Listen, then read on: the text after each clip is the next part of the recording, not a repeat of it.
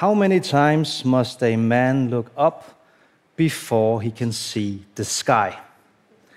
That's a quote from a famous song by Bob Dylan. I love that line because it reminds me that sometimes what we need is actually right there in front of us.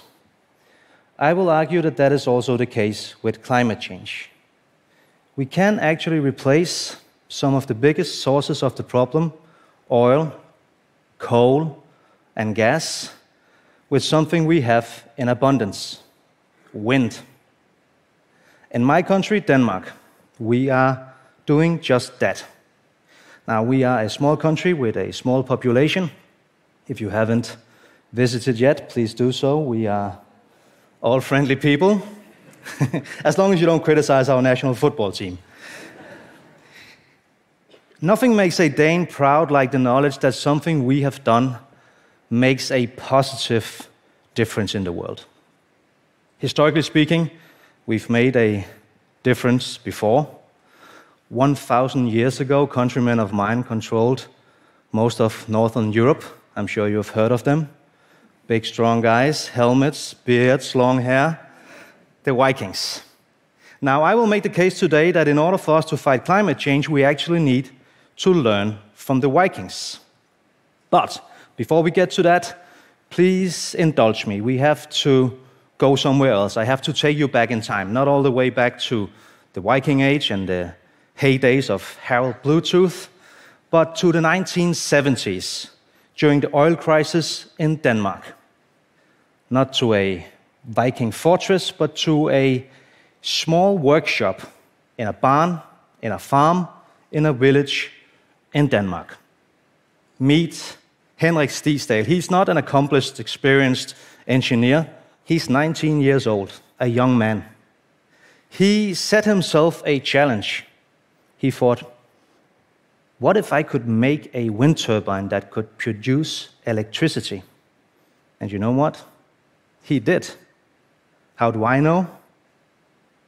Because that's it. not a model, not a replica, this is the actual one that Henrik made. He was kind enough to lend it to me. It says M1 on it. That stands for Mølle 1, Mølle 1, which translates into turbine number 1. And of course, this was just the first one he made. Later, he managed to build a big one that could supply his family with cheap, affordable electricity in the middle of the crisis. And soon after that, other farms asked Henrik to build a turbine for them as well, and he did. And eventually, he actually sold the design to a company called Vestas. You might have heard of them because they are the biggest turbine producer in the world today. So, this is how Henrik's invention became a sort of the prototype for many, many of the wind turbines that you'll see all over the planet today. Now, a lot of things have happened since Henrik and other pioneers took the first steps back in the 1970s. In 1991, we built the first offshore wind farm in the world called Vindeby. 11 turbines, 54 meters tall. that was considered a landmark. They were huge. Today, of course, they seem pretty tiny. This is Kriegers Flak. That's the biggest offshore wind farm in Denmark now.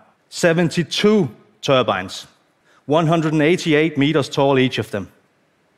To give you a comparison, that's twice the height of the Statue of Liberty. Every time one of those turbines have one rotation of the blades, it creates enough electricity to charge more than 1,400 cell phones. The park itself covers the electricity demand of 600,000 households. So, the story of wind power in Denmark is the story about how one turbine on one farm sparked a transformation that influenced the whole country. We, of course, now hope, small as we may be, that we can spark a transformation that will also affect other countries. We are a green frontrunner, but we need to do more because at the same time, we rank number one in the EU, or at least as one of the biggest oil producers in the EU. this has to change. And it will. Last year, the Danish government and the Danish parliament made an important decision. We've decided to put an end date on extraction of oil and gas in 2050 and immediately cancel all future licensing rounds.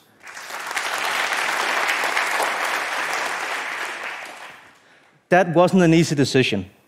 When we made the decision, we were the biggest oil producer in the EU.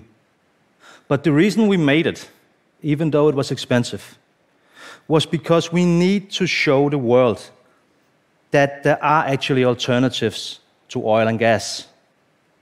Now, some of you are probably thinking that sounds very good, but how will you do it? What do you do the days when the wind doesn't blow? And what about the parts of our energy system that cannot be electrified? Surely you cannot fly a jet plane without jet fuels. Surely you cannot sail a big container ship without bunker oil. But actually, you can. This is an electrolyzer. The photo is from a visit I paid a factory in Denmark a few weeks ago. So it's not a prototype, it's not a model in a lab. It's a functioning machine, it's a commercial product. What does it do? It transforms electricity into hydrogen. And that, friends, that's the game changer. Because it makes it possible for us to solve two problems we have with wind energy. One, we can now store the energy for when the wind is not blowing. And two, we can now decarbonize parts of our energy system that we couldn't decarbonize before. Because the hydrogen can be transformed into green fuels. Imagine that. The wind in the North Sea is transformed by a turbine into electricity. The electrolyzer transforms that into hydrogen and the hydrogen is then made into green, sustainable fuels that we can use to sail our ships and fly our planes. I know it sounds like science fiction, but actually, it's just science.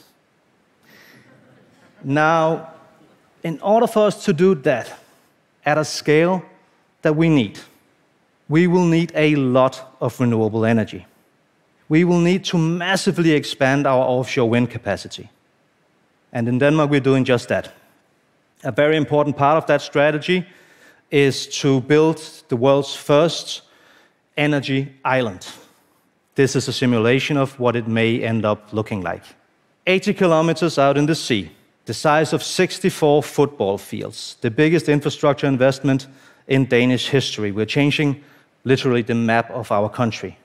Hundreds of wind turbines around it. When fully scaled, it'll be able to generate 10 gigawatts of green electricity. Now, 10 gigawatts, that's enough to cover the demand of 10 million households. That's far more than we need in Denmark, which is good news because then we can use it to make the hydrogen, to make the green fuels, and we can export it to other countries and thereby help them decarbonize their energy systems. Some of you are probably thinking, what does this have to do with the Vikings? But do you know uh, what it was that made the Vikings so successful? How they managed to go to Greenland? How they managed to sail to America 500 years before Christopher Columbus? Their secret? They exploited the wind. They put tremendous effort into making efficient sails, and it took as long time for them to make a sail as it did to build a ship, and it was just as important. And that brings me to my main point. We need as the Vikings did 1,000 years ago, to change the world by finding new and more efficient ways of exploiting the energy. This time, with slightly better haircuts, and the motivation that lies in the fact that this may be our biggest chance of making a positive difference in fighting climate change. Now, some people will probably tell you that a small country cannot make a big difference. I beg to differ. When a young man like Henrik could make a difference for a whole country, why not also believe that a country like Denmark can make a difference for a whole world? We can't do it alone, but we can do a lot by innovating, by creating new technology and new solutions, by exploiting something that is much bigger than ourselves the forces of nature. If you ask the International Energy Agency, they will tell you that offshore wind has the potential to cover the current electricity demand of the entire world, not once, not twice, 18 times. So when you go to Denmark, you meet a Dane after you've said something nice about our football team. Try and ask her, How do you think we should solve the climate crisis? Chances are she will say, The answer, my friend, is literally blowing in the wind. Thank you.